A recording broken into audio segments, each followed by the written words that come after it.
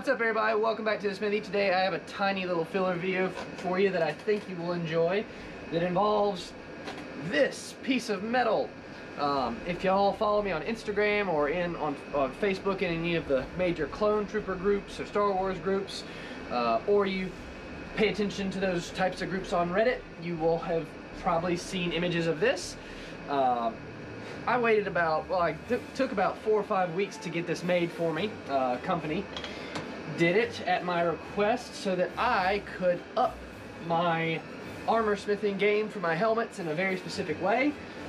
So we are going to upgrade this part, this steel piece of my helmet uh, in a minor way, something I've been looking forward to. And yeah, it's gonna be a short little video. I'm gonna take this off and we'll see how long it takes me to actually do it. Uh, but it's gonna be a great end result, so let's go ahead and run out to the shop. I'm not gonna give you a lot of details as to what I'm doing. I'd rather let y'all see it in the end and uh, see the comparison and uh, be excited about it. So, all right, let's run out there. Before we continue, I just want to say y'all should be following me on Instagram and friends with me on Facebook uh, or be a part of the various uh, and popular Star Wars slash clone groups on Facebook. If you are, you'll see my stuff up in there. Uh, but the reason I say that is because if y'all like my content, then these are really good ways for you to see more of it that doesn't end up in videos, like this 3D printed wall panel I did. It's nothing crazy, it did not deserve a video, but it's cool, it makes my space feel more troopery, um, or this little one that's related, similar, serves a function. Things like that. I'm not making a video for those, but if you follow me on, if you follow me, friends with me, or part of those communities, you'll end up seeing that stuff. Uh, I post in there quite frequently because I do make small projects like this. Um, you can also be a part of the various Star Wars subreddits. Uh, I'm in most of the more active ones, uh, the bigger ones. So just a little shameless plug if y'all want to see more content from me and remember don't forget to like and subscribe but now that that shameless promoting is done. I get back to the video. All right this is such a quick little project that I really don't think y'all are gonna need a time lapse so. Here's the nice steel plate with its beautiful hole cut out. Set it on top of my anvil. Set this on there. And then hammer it and make you watch from over there. No. Uh, let me change my camera angle here so you guys can actually see this shot. I worry quite often that y'all never get to see the really good shots. So I'm gonna try and give you a good one this time. And not hit the camera with my hammer. I feel like I'm pretty, I can do that. So let's get started. Now it's harder to do it this way because at this stage the uh, old lines I had on this thing that marked it, oh, hold on. I just, I almost forgot. I'm putting in hearing protection because this is loud. And for you guys, I'm actually gonna cut the volume down quite a bit. Otherwise, you wouldn't wanna watch the video because it's loud and it's a sharp sound.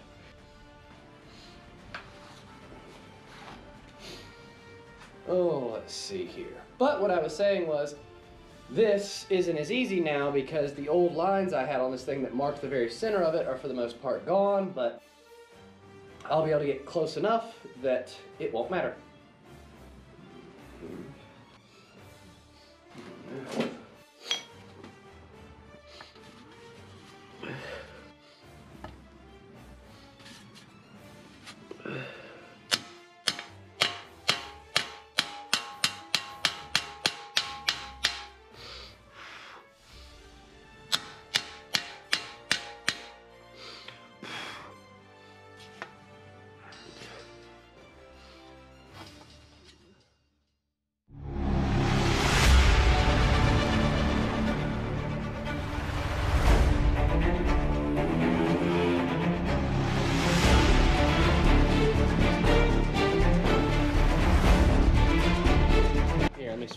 For you. All right, now we'll do it on the vise.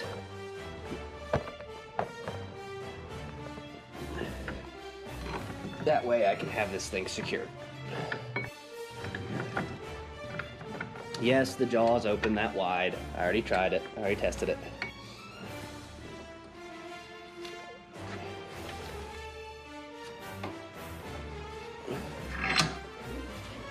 All right, resume.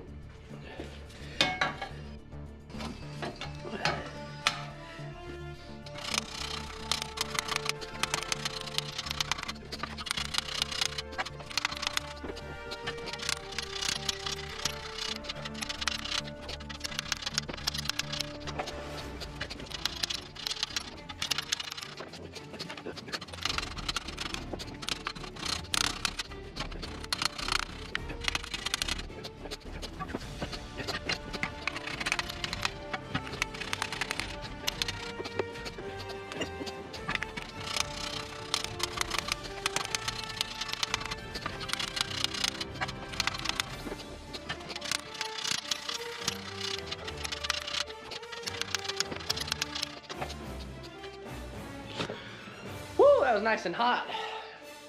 I just took a nice shower this morning. But here we go. We can see the lovely paint that has now been burned off and is actually flaking off and I'll have to sand off, but I knew that was gonna happen. It looks so pretty, right? Wrong, no, it's ugly, but it's not done yet. Let me, real quick, first of all, let me raise y'all's camera a little bit.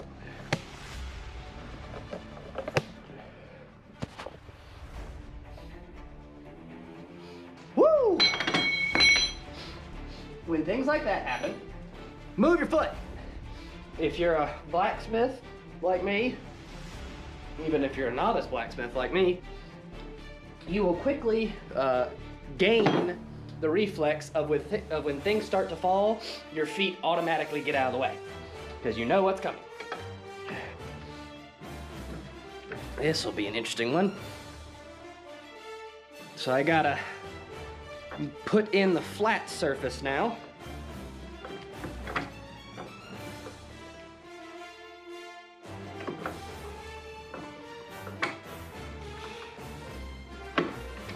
Let me see. There we go. Whoop. All right. The whole time I must be cautious and aware that metal is hot. But here we go. Again, music.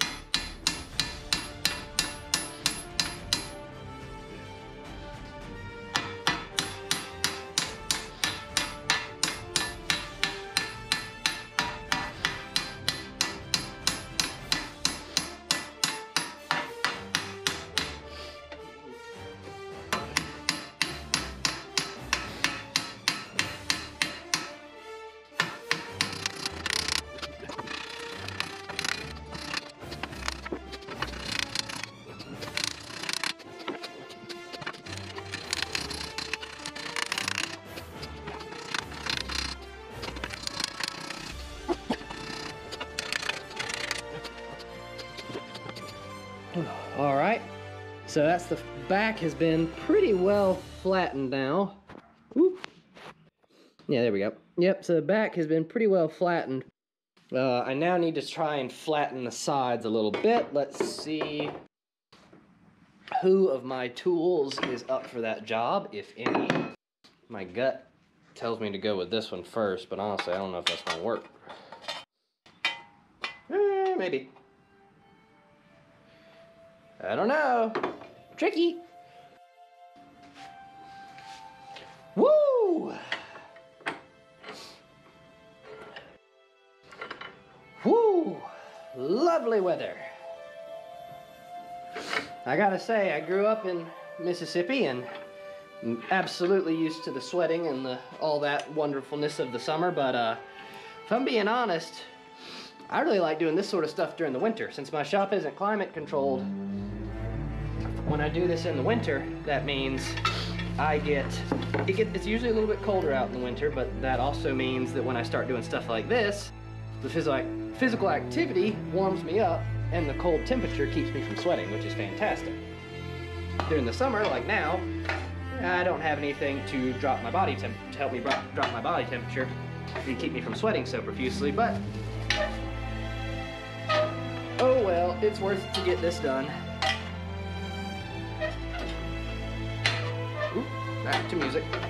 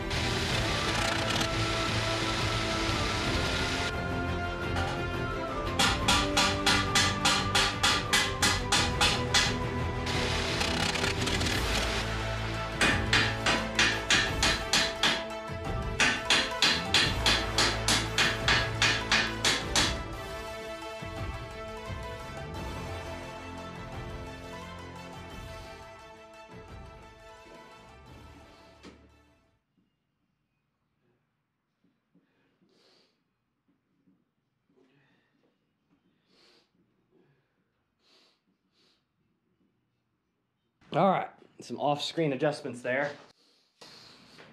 Whew, it's not perfectly centered, but it's pretty close. When it's on the helmet, it's hard to notice a mis the mistake or the inaccuracy. It's hard. It's it's not something I necessarily call a mistake just because it's the first time I've done it and things like this take practice. On the helmet, it's actually looks pretty dang good. Woo!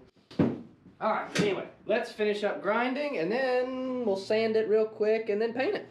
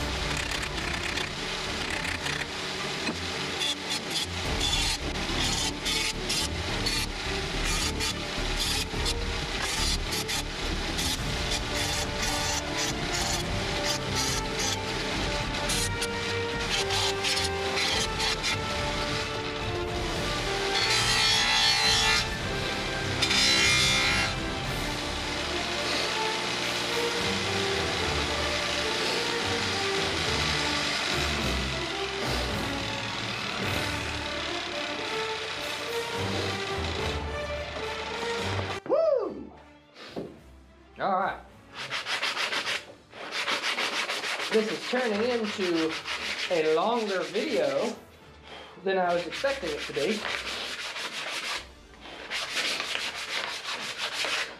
But that's not the worst thing in the world. I have, it has been a minute since I put up a good video, so say la vie. Now, this is not perfect, but this is really good first attempt. And it's such a such a big improvement over the previous version. Like, this now actually looks pretty screen accurate. I mean, it doesn't look like it was stamped in a factory where Clone Armor is mass produced, but it still looks pretty dang nice. And so, once I have the paint sanded, just enough to get off the score, the carbon and all the scoring.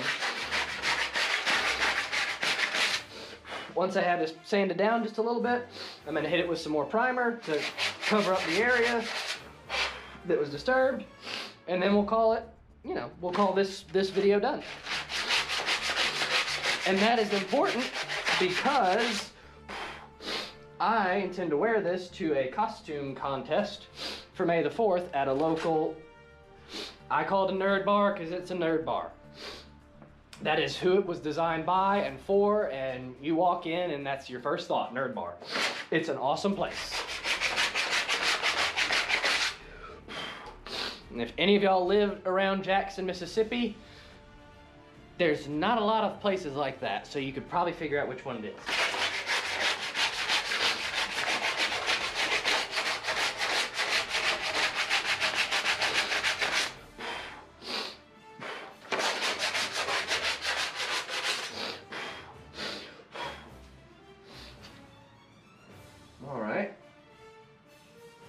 I think that should be enough.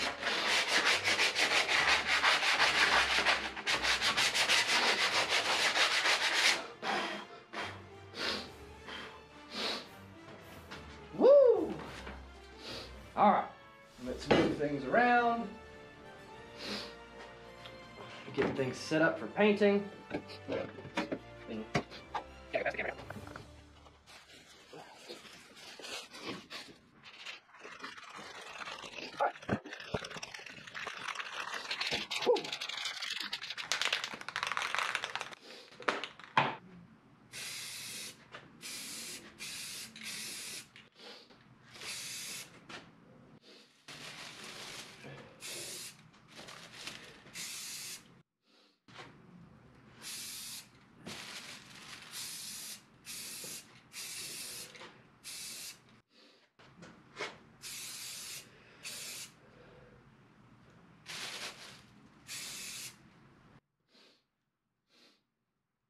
All right. So that's it for y'all. I'll do a few passes of that, just making sure it's nice and uniform, and then we'll be done and ready for May the 4th. So here is y'all's finished shot, and the before and after.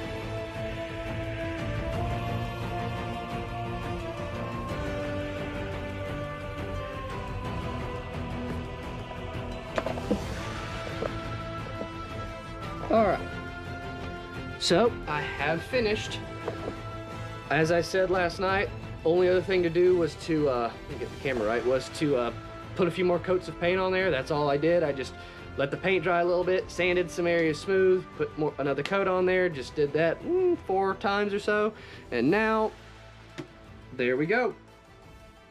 So, it's not perfect, but it's a serious improvement. I mean, this is a real improvement, a big upgrade. I know it seems like such a small thing, but as you saw from the before pictures, I tried to do a version of this before and I just couldn't without the tool. So I had to get the tool made. It took time and money to get the tool made. So this is a cool upgrade and I got that tool made for the specific intent purpose that when I make more of these helmets, like my commission helmet, I can pretty easily make a duplicate. I can quickly and easily make an almost exact duplicate. That's the re- that's the reasoning behind this. I probably could have figured out a way to done it otherwise, but I wanted to make my actions repeatable. So, looks pretty good. Looks strange from the side to some degree, just the helmet overall, but it really adds a nice level of detail, extra authenticity. Uh, I'll give you a side-by-side shot here. So these are the two. And the shapes are actually almost, well, this is the 3D model that I used. Um, I modeled it off this. They are almost identical. They are so close that it's hard to tell the difference um, when you're looking at them. Use my calipers and everything. So this went in and was part of making this. See, it fits almost perfectly in there. It's almost completely flush. So that was turned into that, which then helped make that, which helped make that. So these two shapes are actually really close. They are very, very close. Not identical, but that's okay.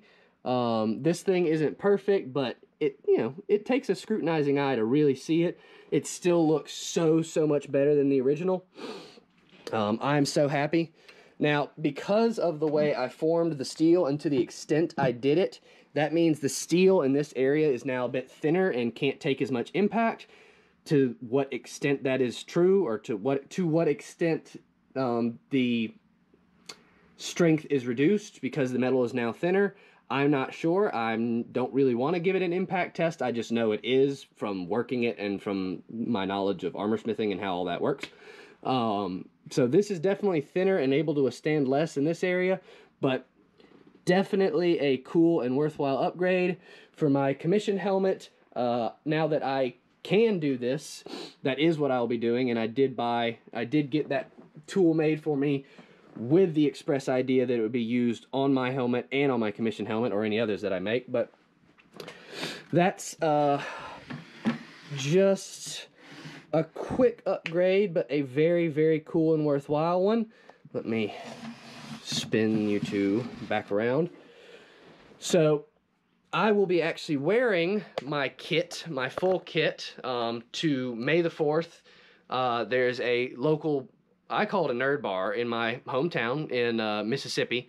Um, I'll be wearing, there's a costume contest, the Legion, the 501st is going to be there. I'm going to wear my kit eh, to the extent I have it set up um, and go and eat and be a part of that and have fun. And so I'm really glad I got to get this portion done uh, in time for that. That's just gonna make you know, make me happy and it'll make the helmet look a little bit cooler in person. But um, y'all should get some photos of that. Uh, I'm actually today is May the third. I am planning on this video going up on May the 4th, so it can be my May the 4th video. So what I'm saying is uh, today, the day you are watching this, I will be um, in the afternoon, in the evening. I will be going out to uh, the Nerd Bar, the Nerd Restaurant, um, and I'll take some photos. I'll get some photos taken and post them. Um, and Nerd Bar, Nerd Restaurant is very apt for this place. It's awesome. Um, if you uh, if you live in Jackson, Mississippi, or around Jackson, Mississippi, there's not many places that are a nerd bar or a nerd restaurant um, like this is. But, all right, so I know it's a short video. I know it doesn't seem like it's that much in the grand scheme of things, and I guess admittedly it probably isn't, but it's an important step in upgrading the helmet. This is what I have been trying to do lately with my helmet and with my commission helmet over here. I've just been slowly engineering ways to upgrade the helmet and make it that much nicer, make it that more realistic. Um, so keep an eye out for more awesome stuff like this. I'm still working like crazy on all my stuff, especially my commission. The commission's taken up most of my time lately. Um, but just be on the lookout. Don't forget, like, subscribe, share, comment, and go follow me on Instagram or friend me on Facebook or just join the Star Wars and clone groups on Facebook if you're a Reddit person, join those communities and keep an eye out.